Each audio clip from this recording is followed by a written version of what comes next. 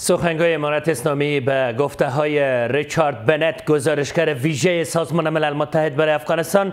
واکنش نشان داده و آن را تلاشی برای تخریب اذهاننامه در آستانه نشست سوم دوحه.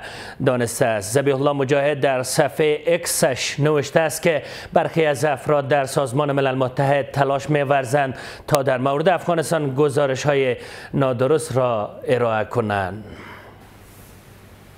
واکنش امارت اسلامی به گفته های گزارشگر ویژه سازمان ملل در مورد سرکوب نظاممند بانوان در افغانستان.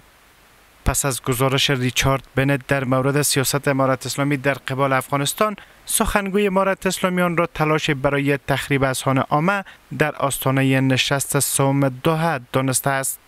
زبی الله مجاهد در صفحه یکسش نوشته است که برخی از افراد در سازمان ملل متحد تلاش می کنند تا درباره افغانستان گزارش های نادرست را ارائه کنند. برخی از افراد در سازمان ملل متحد همیشه تلاش دارند تا در مورد افغانستان گزارشات نادرست ارائه کنند. آنان تلاش می‌ورزند که اذهان عامه را در آستانه نشست دوحه در برابر افغانستان تخریب کنند. گزارشی که در آن ریچارد بنت از ملل متحد خواسته بود که با حکومت سرپرست افغانستان همچون دولت برسمیت شناخته شده برخورد نکند. بنا به طالبا با کار است که از موضوعگیری خود بنا بر منفیت ملی کشور باید استفاده کنند و تحت تاثیر از از باید نرن و حتما صد صد در این مجلس اشتراک کنند. یک فرصتی است تا که جان مقابل را قناعت بتن و قبل از او باید امی با اتهامات که از جهان وارد میشن.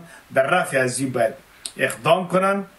موردی که آگاهان به آن از زاویه دیگری می نگرند از اینکه در جریان سی سال گذشته حکومت در افغانستان به شکل موقت و سرپرست باقی مانده و جانب هیچ یک از کشورها و نهادهای بین المللی به رسمیت شناخته نشد. بنابراین مشکلات بزرگی را در قسمت برخورد جهان و کشورهای دیگر در مقابل افغانستان با وجود آورده که آنها نمی‌توانند با حکومت سپرست فیلی افغانستان به حیث یک حکومت مورد انتخاب و مواد قبول رسمی افغانستان برخورد نمایند. این در حالی است که قرار است تا چند روز دیگر نشست سوم دوحد در مورد افغانستان برگزار شود و نمایندگان امارت اسلامی برای اشتراک در آن به قطر بروند.